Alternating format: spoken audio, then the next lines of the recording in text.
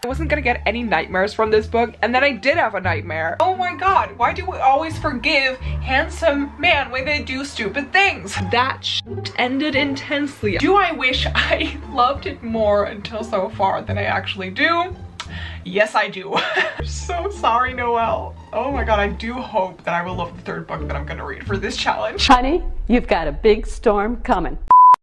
Hi guys, my name is Sabine and welcome to another video. In today's video, I will be reading all of Noelle Gallagher's favorite books. I think most of us are familiar with Noelle and her wonderful channel, her wonderful personality. She is the queen of booktube and she has been on the rise since 2020. I started following her around April and I was just so impressed with her video style, her editing skills, and just the overall look and I've become just really obsessed with her. And then I came with a brilliant idea somewhere in September of 2020, so six months ago, that I was gonna read her favorite books, or at least some of her favorite books. So I went onto her channel, I kind of figured out which titles I would be most interested in picking up. They were a little bit out of my comfort zone, but I was so excited to get to them and I chose three books. Misery by Stephen King, Call Me By Your Name by Andre Aciman,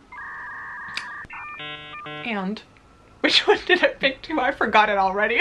and The Hating Game by Sally Thorne and the results of this like reading vlog, reading Noelle's favorites video are interesting and I don't know if Noelle wants to still be friends with me after I you know, show you guys this video. Like I said, I filmed these books and my reading experience over the course of four months, I believe, and I am so excited to finally get to it and upload it on my channel. The reason why it has taken me so long to finally upload a new video just in general on my channel, it's been two weeks and you might know the reason why if you follow me on my Instagram. So if you don't, definitely check out my Instagram. Links are in the description box down below. But um, I got scammed. I thought I was gonna do a sponsored video with a company and I was so excited for it because I've literally only done one sponsorship on my channel before, which was in my previous video. So I was excited to have another one. And then after a little bit more of like research and back and forth, really strange communication, I came to the conclusion or found out that the company that they were trying to pretend to be and like this whole sponsorship idea was fake. And basically afterwards they tried to hack my YouTube account which is absolutely great. And because I thought I was gonna do like this big sponsorship with them, I was waiting for their approval and more information and I didn't film a video. And then just that whole hacking thing happened and I was super stressed. And then I just decided to like take a little break and kind of just like try to make sure that all of my Gmail passwords and everything was hopefully secure enough so that they wouldn't be able to hack into my account. So little story time before we're actually gonna get into the video. Oh, and also, yes, I did get my nose pierced. I think you might have seen that. I'm so excited about that. I think it suits my face really well and I'm loving it already. And those were all the little things I wanted to share with you before actually going on to the reading vlog situation. It's just, it's been great this past week. It has been interesting. So the first book that I read that was one of Noelle's favorites. I mean, if you follow her, you know that she is a Stephen King fan. I think I don't know anyone who loves Stephen King more than she does and my plan for 2020 was to read a Stephen King book. That was one of my reading goals so I thought wow this is the perfect opportunity and the book that Noelle always talks about is Misery and in this book we follow our main character I believe his name was called yes Paul Sheldon and he is a famous writer for like the Misery series and on one evening he's just like riding his car, riding his car, driving his car but there's this like huge snowstorm and he gets into a car accident and the one who kind of like saves him, finds him, is his biggest fan called Annie Wilkes. But what Annie doesn't know when she takes Paul into her home and tries to take care of him is that Paul killed off Misery in his latest novel. And she gets really mad and Paul basically has to write a new Misery novel for Annie Wilkes. And it's just oh my god creepy. That's all I'm gonna say, but let's see what I thought of this book whilst reading it. Good evening, my sweet petunias. Do you see what I did there? And if not, I'd be disappointed. okay, so it is the evening. I have read about, I'd say, 20% of Misery and feeling okay about it. Like the audiobook makes the experience, I think, so much better. Like I usually find that with books, by the way, that the audiobook just adds something to the reading experience. Um, I think the narrator, she does it so very well, especially the very creepy anger issues that Annie has. Like she does them so well. I think his writing style is something that I need to get used to. It is a little bit on the slow side. Sometimes it's also a little bit confusing and I need to see like, okay, how is he writing the story right now? Sometimes you have kind of flashbacks and then in the now, but you also have Paul's inside dialogue. So sometimes it was a little bit confusing. I am liking it though, but I wouldn't say that I'm like amazed until so far, but it's not like horror until so far. Like Annie is really creepy. She does creep me out, but it's not as if like I am not able to sleep right now. Hi guys, so I am currently like 20 pages into part two. And right now Paul is writing the new Misery novel and I think it's really cool that we also get to see little parts of that story. And by the way, I told you yesterday or like a couple of days ago that, you know, I wasn't gonna get any nightmares from this book and then I did have a nightmare. I dreamt that I was like in my room, stuck in my room and that someone was screaming from behind like super loudly and then I woke up from that scream in the middle of the night in my dark room at 4 a.m. and then I was just like well, I guess this book is doing something right for me. Okay, I'm on page 244 and something intense is gonna happen. Like, if you have read this book, I think this will be one of the most shocking things that's gonna happen, question mark. Listening to the audiobook, um, and I just want to record my reaction. Like, I'm already, like, freaked out, and when I was reading this, I thought, okay, I need to put on my camera because I was literally listening to this book and reading it like this. Yeah, let's start reading the audiobook again and be shocked. I have nine minutes left of this like part of the story. I believe that there are four parts, so I'm almost done with part two and it's gonna end, I think, really intensely. So, okay, let's go.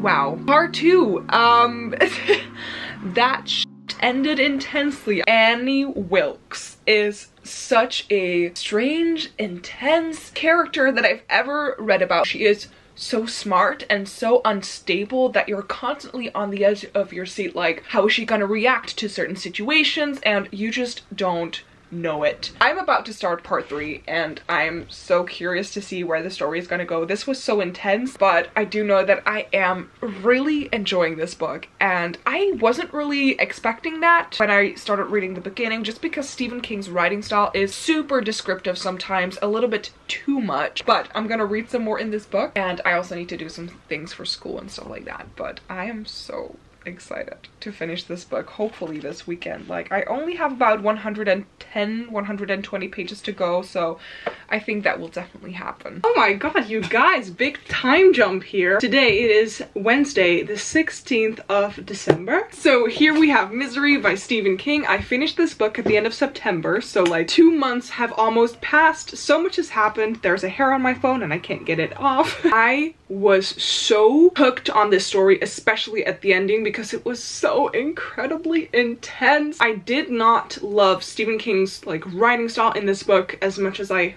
hoped I would, but like some of the things that happened in here are just up.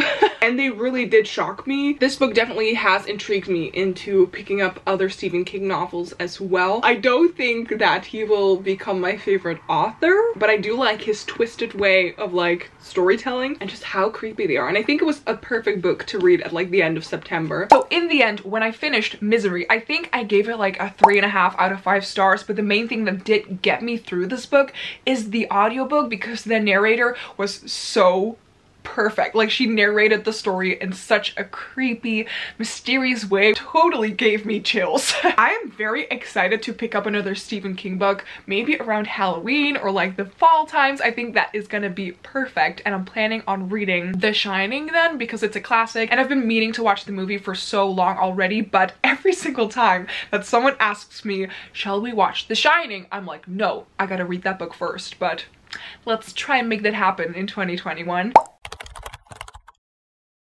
Next up, I read something completely different genre-wise. And the other book that I then picked up that Noelle loves, she even got a tattoo dedicated to this whole story is The Hating Game by Sally Thorne. This is like an office romance book and first of all, I rarely read romances just because I'm still very unsure of whether this is a genre that's something for me. And in this one we follow Lucy, Hutton, baker of cakes, charming assistant, and professional nice girl, is waging war. She's got the whole office on her side except for tall, dark, and charmless Joshua Templeman. He's been nothing but hostile since the moment they met, and now it feels like nothing matters as much as taking him down. Trapped together under the fluorescent lights, they become entrenched in an addictive rivalry. First the staring game, the mirror game, VHR game. Lucy can't let Joshua beat her at anything, especially when a huge promotion comes up for grabs. Finally, she's going to destroy the man she can't seem to get out of her office, the man she hates, the man who's taking up far too much space in her head. if Lucy wins, she'll be Joshua's boss. If she loses, she'll resign. The race is on, but the real games have only just begun. Let's see what I thought of the hating game.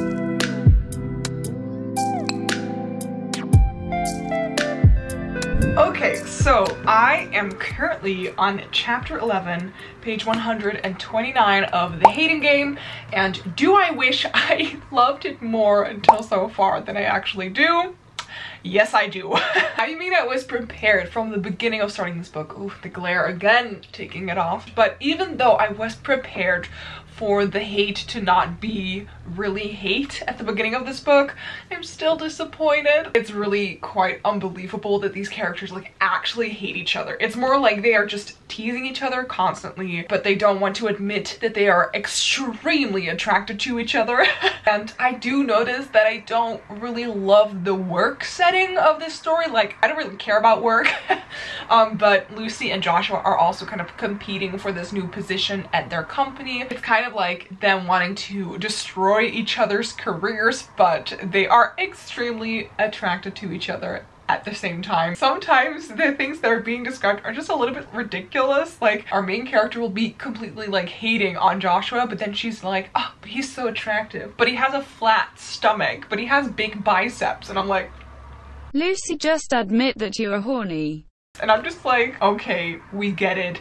He is a handsome man. But like, he's so shitty to her sometimes. Like, oh my god, why do we always forgive handsome man when they do stupid things? Yeah, I'm not loving this until so far. I'm so sorry, Noelle. Oh my god, I do hope that I will love the third book that I'm gonna read for this challenge. Honey, you've got a big storm coming. I just don't know if reading a romance novel is something that I desperately need in my life at the moment. Maybe I'm just not really in the mood you know, in the mood, romance.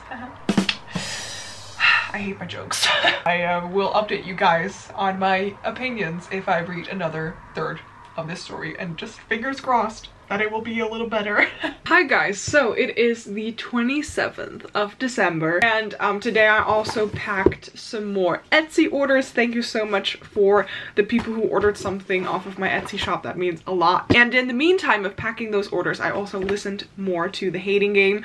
I only have two or three chapters left. So I'm gonna listen to the audiobook right now and finish reading this. Until so far, I have been enjoying this book quite a lot I wanted to say, but that's not true. I've just been enjoying it. But I don't know if romance is really my genre, but also I'm just not loving the pairing in the story. Like, I definitely, definitely feel the sexual tension between them and I just want them to have sex. so Sally uh, Thorne is doing a good job with that, but it's not as if I feel like they would be an amazing couple or something. I don't ship them in like a relationship and I do feel like that's kind of what they both want out of this. Let's finish this book and give you the final update. Okay, my hair is a bit of a mess. It's really poofy, but I just finished reading The Hating Game and I'm sad to say it was not really my thing. I'm so sorry, Noelle. I know that in her uh, past couple of videos that she's just uploaded with my most disappointing reads of 2020 that it does hurt when someone says that they didn't love the book that they love. I'm sorry for hurting you. I am glad that I finished it and that I can pick up another book. It's just not that I really disliked it. It's just that I really wanted to love it and I just didn't. okay, so I know that they've just finished recording this movie, I think, and I am really excited to see how this book translates onto the screen. The main thing that I always say about books is that characters are super important to me and even though like also with Misery I didn't have like a real connection with the characters, I also didn't have that with this one. But with Misery, the plot is also really important and that kept me hooked and this plot just was a little lackluster for me. There is like a wedding involved in this book and like going to a wedding and stuff like that and that was really quite entertaining but before that I just didn't really care about anything but mm, what can you do? I think I came to the conclusion that this book was not it for me. I think I gave this a two and a half out of five stars and then lastly um and definitely least, I read Call Me By Your Name by Andre Aciman, or did I actually read it? Hi, it's Editing Sabine here because I found out I forgot to tell you what Call Me By Your Name is about. So, I'm gonna give you guys the synopsis right now. Call Me By Your Name is the story of a sudden and powerful romance that blossoms between an adolescent boy and a summer guest at his parents' cliffside mansion on the Italian Riviera. Unprepared for the consequences of their attraction, at first, each feigns indifference. But during the restless summer weeks that follow, unrelenting, buried currents of obsession and fear, fascination, and desire intensify their passion as they test the charged ground between them. What grows from the depths of their spirits is a romance of scarcely six weeks' duration and an experience that marks them for a lifetime. For what the two discover on the Riviera and during a sultry evening in Rome is the one thing both already fear they may never truly find again total intimacy. Let's see what my thoughts and opinions were on Call Me By Your Name. Be prepared. Hi guys, it is January 11th and I think today might be the day that I pick up Call Me By Your Name by Andre Aciman, I think is how I would pronounce his last name. I believe I have the audiobook of this one on Scribd as well, so I'm very excited. It is also really, really short. I'm hoping that I will love this book more than The Hating Game because it is also a romance, but I feel like this one is gonna have a little bit more of like a lasting impression, if I can say it like that. I look ugly. we all have our good days and our bad days. Um, I feel like this is not my, my best day. Oh my god. it's getting worse the more that I touch it. Well, we're just gonna have to deal with it, I guess. Yesterday I read up until page 38 of Call Me By Your Name and I'm really disliking it. Oh my god. I really do not like this. And the main reason why I'm not liking it is I do not like Andre Aciman's writing style. It is just, I feel so distant from the story. Our main character is basically just speaking to himself and that is the way that this story is being told and I just don't like it. Also, I feel like Andre Aciman writes really, really long sentences and even though my English is really quite good, sometimes I find it a bit hard to follow. So I sent Noelle a DM that I was starting this book but that I was not feeling the writing style and it just, I don't know, I'm not liking it. So I told her if I'm halfway through the book and I'm still not liking it, I'm gonna DNF it or does it get any worse? Like, can you kind of give me an indication of does it get better? Or should I just DNF it? And she's like, just DNF it right now. Like, the descriptions in this book are so detailed and she told me that it's only gonna get more descriptive as the story goes on. I'm gonna try and read up until page 63, which is the end of part one. And if I still don't like it at that point, I'm already gonna DNF the book.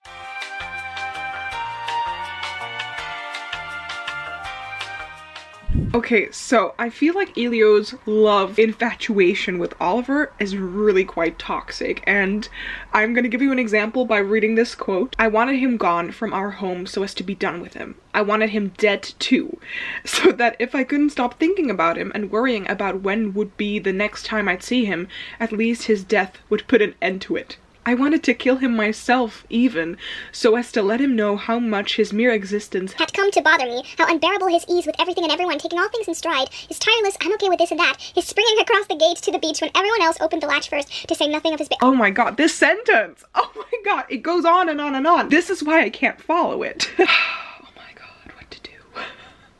I was just gonna let you guys go and, you know, leave you with that quote, but then it goes further on. If I didn't kill him, then I'd cripple him for life so that he'd be with us in a wheelchair and never go back to the States. If he were in a wheelchair, I would always know where he was and he'd be easy to find. I would feel superior to him and become his master now that he was crippled. Elio, what the is going on inside of your head? This is really messed up. Do you understand? Why I don't want to continue on with this book. Let's read some more and see if I have some other weird quotes for you as well. This is insane. I was almost finished with reading part one and I thought that the weird quotes were over, but here we go. Elio is going through Oliver's personal belongings just because he wants to find something, I guess, and he says, hanging on a hook was this morning's red bathing suit, which he hadn't swum in, which was why it was hanging there and not drying on the balcony. I picked it up, never in my life having pried into anyone's personal belongings before. I brought the bathing suit to my face, then rubbed my face inside of it as if I were trying to snuggle into it and lose myself inside its folds. It gets even worse. So this is what he smells like when his body isn't covered in suntan lotion. This is what he smells like. This is what he smells like. I kept repeating to myself, looking inside the suit for something more personal yet than his smell and then kissing every corner of it, almost wishing to find hair, anything, to lick it, to put the whole bathing suit into my mouth. And if I could only steal it, keep it with me forever. Okay, I have two pages left and then I'm gonna DNF it and watch the movie because all of my friends have been telling me that the movie is so much better. Oh my god, and it even continues on. I wanted to come in his suit and leave the evidence for him to find there. I don't get it. I don't get it. Yeah, I basically just gave up on this book when I reached part two, which is on page 67. It was a super short book though, but I just, I couldn't handle it anymore. Then I watched the movie and I know that like everyone was obsessed with it back then, but I felt so underwhelmed. I also didn't like the movie, so this was just not it for me. This reading experience of reading Noelle's favorite books wasn't the best and I feel really sad about it. Hi guys, editing Sabine here. I also want to make sure that I'm not trying to like shade anyone or for that case Noelle for her liking the books and the fact that I completely did not because it might come across that way looking back at all the footage I filmed right now. Read whichever stories you want, whatever you please. This is just my own personal experience and I thought it would be very interesting and funny to share with you because I just find it so fascinating to see how Noelle's opinions and my opinions are so completely different from each other even though we are reading the same book. It's just, I wished so badly that I would love these books as much as she did, but I didn't. But I just want to make that clear. Not shading her, not shading anyone who liked these books, just my own opinion. Noelle, I'm so sorry. I wish I just loved them as much as you do. I hope you can forgive me and I hope you won't hate me. but I also want to make more of these like reading ex booktubers favorite books. If you have any suggestions for booktubers you want to see me read their favorite books from is that sentence grammatically correct? I don't think so, but we're just gonna roll with it. then just leave that in the comment section down below. I just want to say thank you so much for watching this video. If you enjoyed it, please give it a thumbs up. You can subscribe to my channel by clicking somewhere here on the screen or on the button down below. And if you don't follow me on all of my social media pages yet, links are also in the description box and hopefully I will see you guys in the next one. Bye!